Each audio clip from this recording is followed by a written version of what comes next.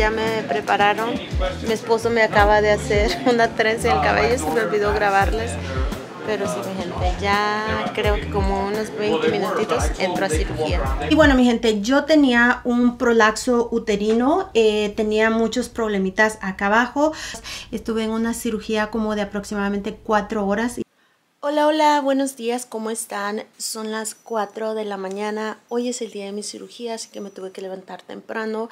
Eh, tengo que estar en el hospital a las 6 de la mañana, seré la primer, el primer caso, a la, a la, primera persona que van a operar, entonces tengo que estar temprano. Eso me gusta, chicas, porque... Eh, entre más temprano pues mejor, más rápido salgo y bueno me siento tranquila, no me siento como nerviosa o estresada.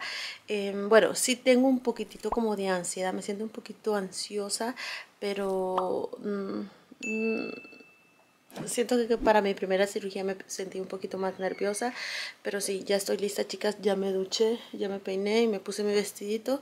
No me, voy, no me puedo poner maquillaje, ni crema, ni nada, solamente desodorante. Así que voy a tratar de grabarles, de bloguearles lo que yo pueda. No creo que sea mucho, pero bueno, aquí me llevo la cámara conmigo. ¿En the what? No. Oh, yes, true. No sé.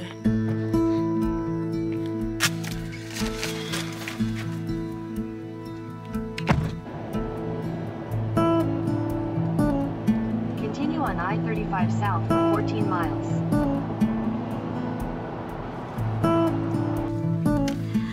Bueno, mi gente, hemos llegado al hospital. Este lugar queda como a 45 minutos de la casa, queda largo.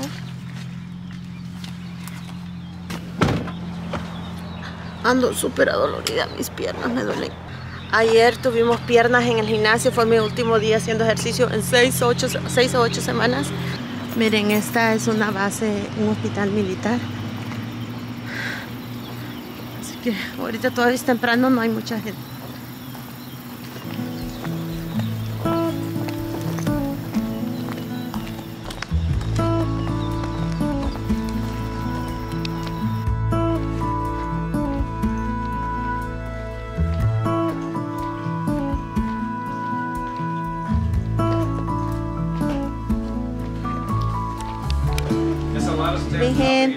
Hola, ya estoy aquí, ya me, ya me prepararon.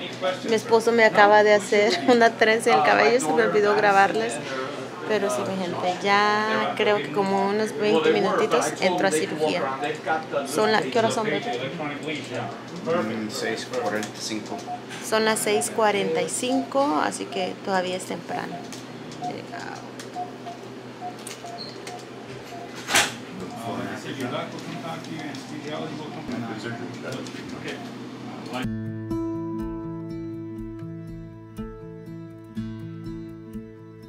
Ya salí de cirugías, ya han pasado creo como 4 o 5 horas. Después del clip que acaban de ver chicas, eh, me venía despertando de la anestesia, no podía hablar mucho. Y luego de eso, como 10 minutos después, me sentaron y me pararon para ir al baño a ver si podía hacer pipí. Miren, chicas, yo pensé que en ese momento me moría.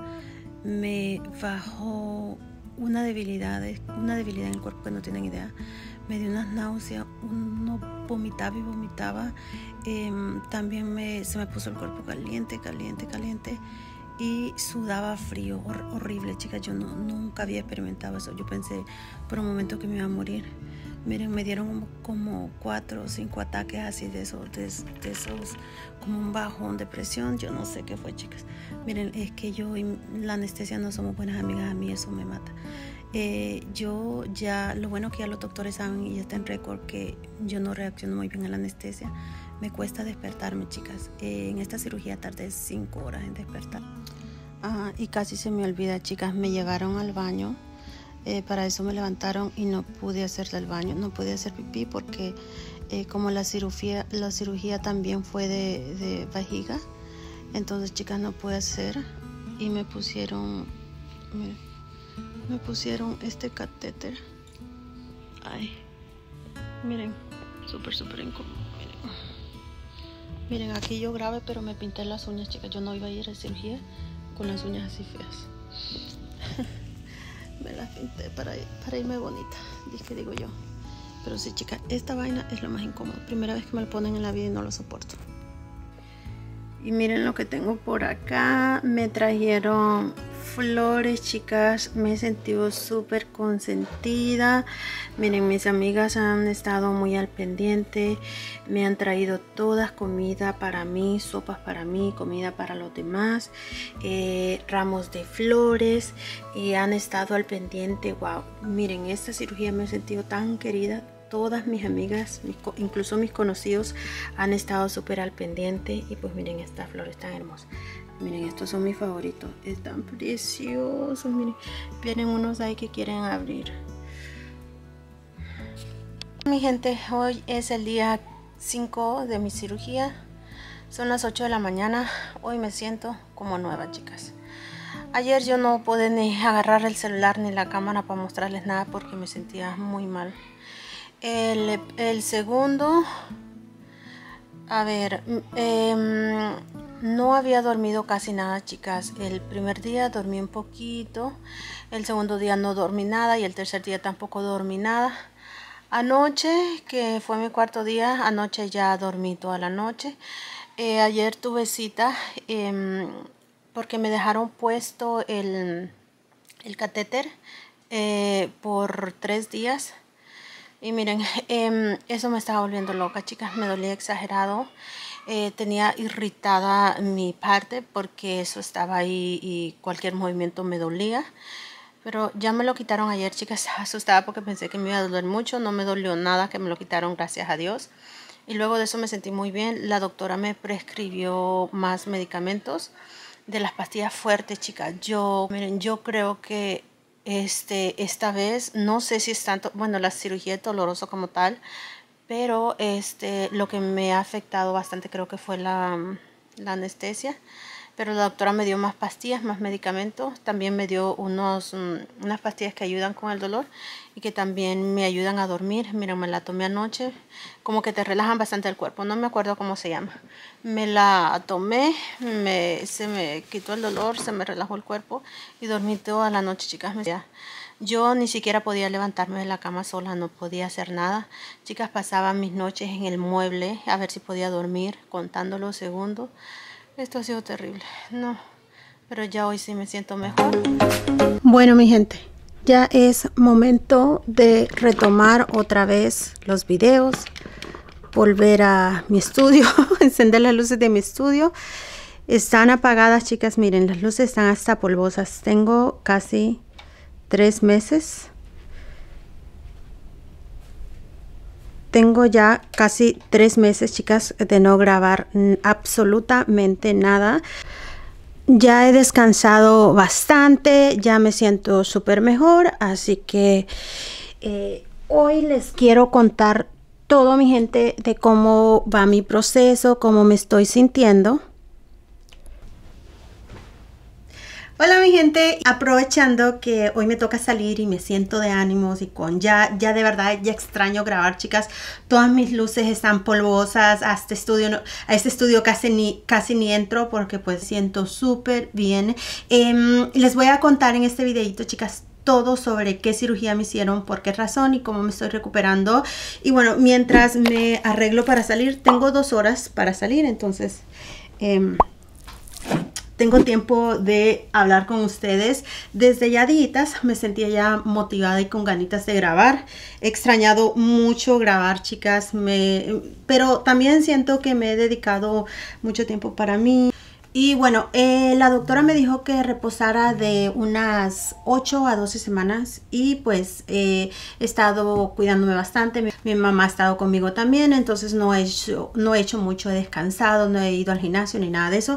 Antes de continuar con toda esta información que les voy a dar, eh, tengo que hacer una advertencia. Creo que a los chicos no les gustaría escuchar eso, entonces mejor hay que deslizar.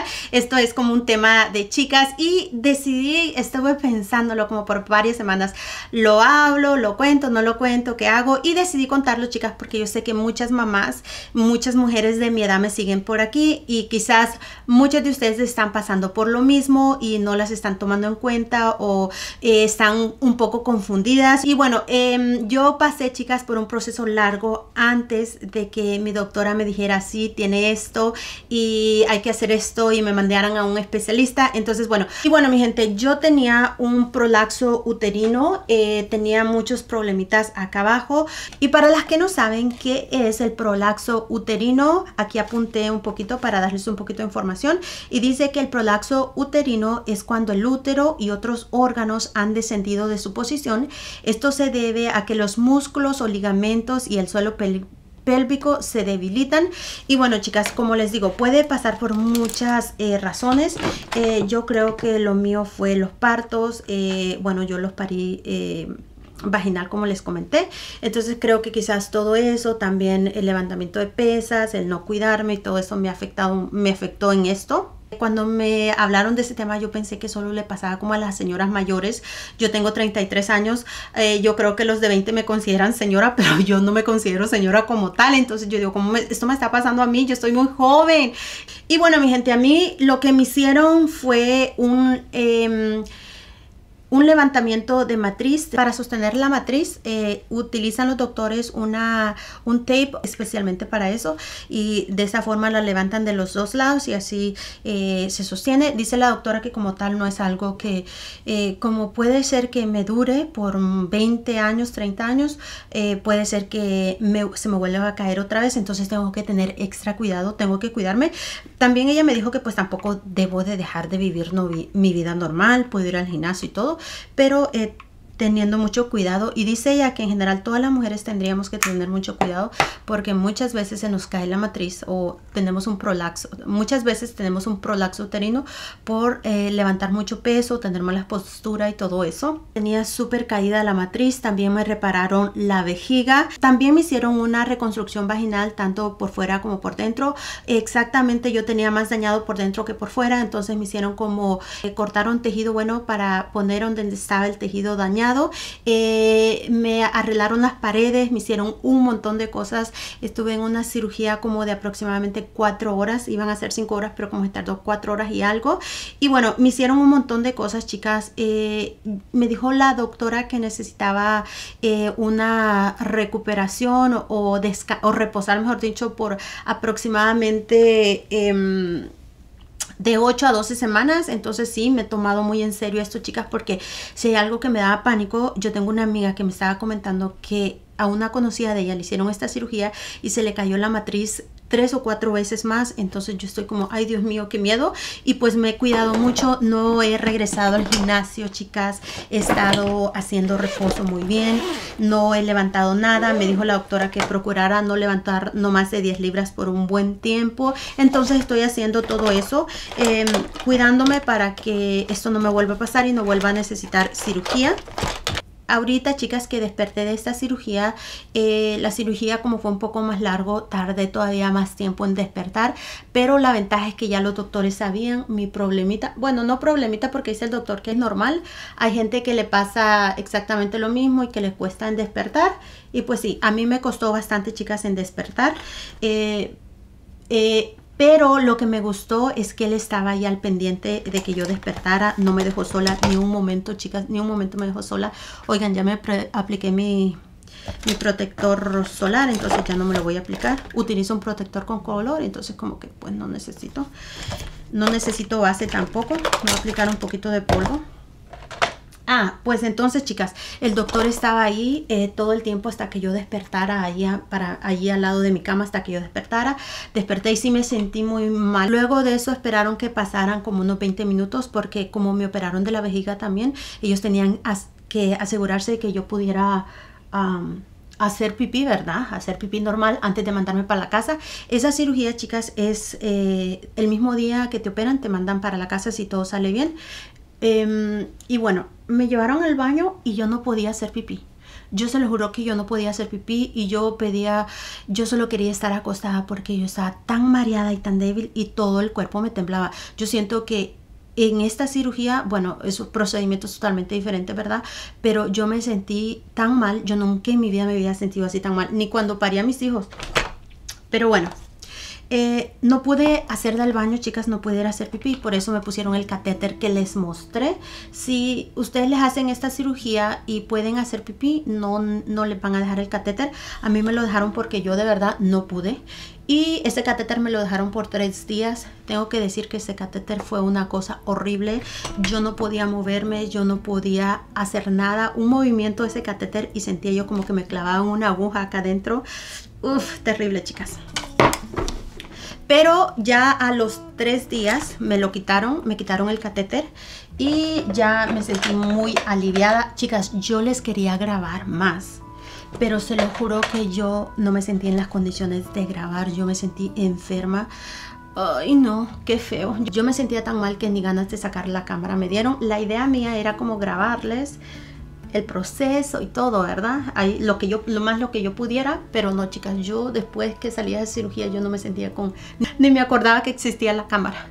Oigan, y solo me estoy haciendo algo así rapidito, yo casi no me maquillo tanto, estoy como muy enfocada en el skincare, eh, andaba ovulando y por eso es que ando como unos granitos acá, pero estoy muy enfocada en el cuidado de la piel, entonces no, no uso mucho maquillaje, y bueno, ahora eh, con la reconstrucción vaginal, em, a mí más que todo, chicas, como yo tuve los partos naturales, yo tuve dos partos naturales y mis niños fueron grandes. Mis dos bebés a mí me vinieron, es que se dice verdad, me vinieron de acá abajo, entonces no sé por qué los doctores ellos mismos no me cortaron, sino que dejaron que mi bebé eh, me uniera y entonces eso provocó un gran estiramiento. Eh, ya saben dónde. Me dice la doctora que es normal que muchas mujeres, muchas, si no decir la mayoría de las mujeres que tenemos un parto eh, natural, la vagina nunca, sí, vuelve a su lugar, pero siempre, especialmente si son más de un parto y si los niños son muy grandes, siempre queda un poco más ancha. Entonces, bueno, yo soñaba, chicas, con que me repararan porque pues yo sabía de que eso no estaba normal. Me da como pena estar hablando de este tema, la verdad. Pero bueno, lo hablo porque sí sé yo que hay muchas mamás y muchas mujeres eh, viviendo esto y como no se habla tanto del tema, la gente no se conforma con quedarse así y no nos podemos quedar así. Yo me sentía tan incómoda, chicas. Yo fui a varios doctores y varios doctores me dijeron que era normal. Hasta que ya mi prolaxo y ya todo me estaba saliendo por fuera, pues ya dijeron, pues sí. Y también otro consejo para ustedes las mamás. Yo, chicas, eh, yo tenía dañada la vejiga, a mí me decían y me decían y me decían, no es que es normal como usted ya tuvo sus partos naturales, es normal que cuando eh, brinque o haga fuerza o cositas así, suelte un poquito de, de pipí me decían a mí, los doctores me lo decían que era normal y yo decía no es normal porque a mí me recomendaron los ejercicios, yo hice los ejercicios chicas como dos años, terrible pues, o sea, eh, no podía controlar, tenía incontinencia urinaria como tal y no es que me andaba miando todo el tiempo, pero este... Pero eh, sí, en ocasiones así, cuando estornudaba, cuando vomitaba, cuando hacía muchas fuerzas, eh, podía manejarlo, controlarlo un poquito, pero no era mucho. Entonces, bueno, me repararon todo eso. Miren, ahora estornudo, vomito y hago, eh, no he hecho fuerza todavía, ¿verdad? Pero eh, destornudo y vomito y ni siquiera una gotita de pipí. Ni siquiera una gotita de pipí. Eso ha valido la pena exagerado.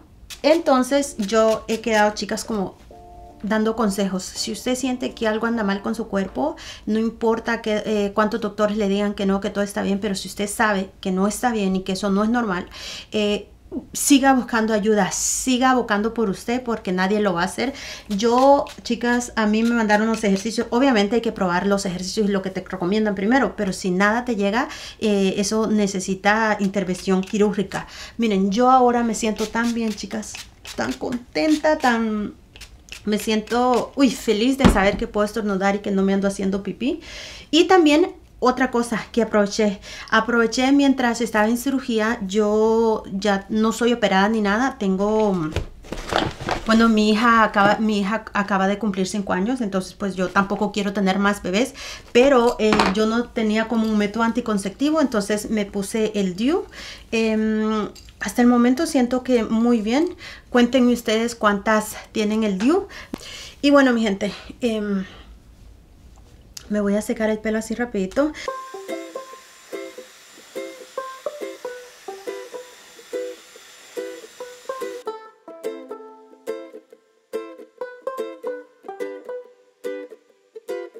Gente, eh, me he cuidado bastante después de la cirugía. Esa es una de las razones mayores por las cuales no he grabado, no he estado en redes sociales, no he estado en YouTube, no he estado en ninguna red social, eh, no he hecho nada, chicas. Eh, me me he relajado, pues he estado cuidándome de mi cirugía y no he querido como estresarme ni nada, pero ya ahora sí ya me siento bien, entonces pues ya estoy como retomando ya mi rutina, chicas.